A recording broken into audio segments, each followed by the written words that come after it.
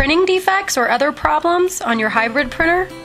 These problems may be due to the presence of static electricity on your substrate or machine. This foam board substrate comes from suppliers with a high level of static charge. Moving parts in the machine can also increase the levels of static electricity and lead to more complications. The solution is the Staticure Elastic Cord, the most effective and affordable static eliminator on the market. Simply place the elastic cord across the roller conveyor under the substrate between the support rollers.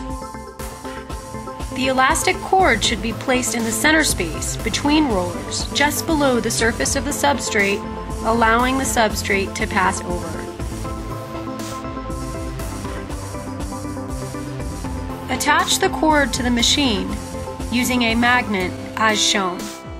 Most foam boards will be neutralized with this single placement under the sheet. However, thicker substrates may require the Staticure elastic placement on both sides of the substrate, both above and below.